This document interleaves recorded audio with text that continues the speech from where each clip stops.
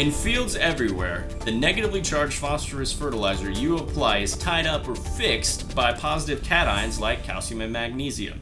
Fixation occurs in all soil types across all pH levels.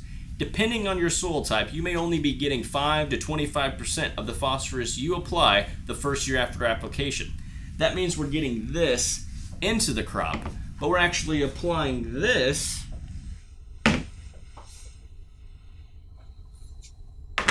into the field.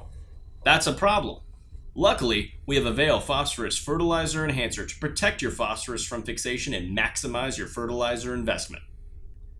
Avail is a negatively charged polymer that bonds to cations in the soil before they have the chance to bind to your phosphorus fertilizer, which means more of the phosphorus you apply remains available to your crop. To show you how Avail works, I've set up two flasks filled with hard water. Think of the calcium and magnesium in these like the positively charged cations in your soil. On one of our flasks, I'll treat it with Avail liquid.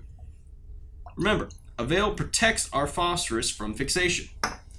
On our untreated flask, I'll show you what typically happens when we add fertilizer or phosphorus fertilizer to our soil.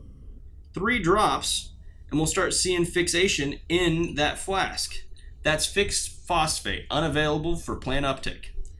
In our Avail treated flask, if we put those same three drops, that reaction doesn't occur because our Avail polymer is protecting that from fixation. Avail is a patented product that solves an age-old problem that farmers and scientists have known about for years.